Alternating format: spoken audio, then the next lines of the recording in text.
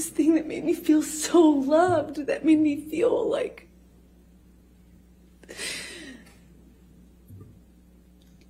like my like my soulmate as cheesy as that sounds i just felt like he knew me.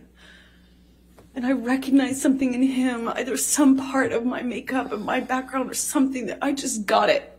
And i loved him and understood him it, it just got so scary the other part of him and uh, in june i wanted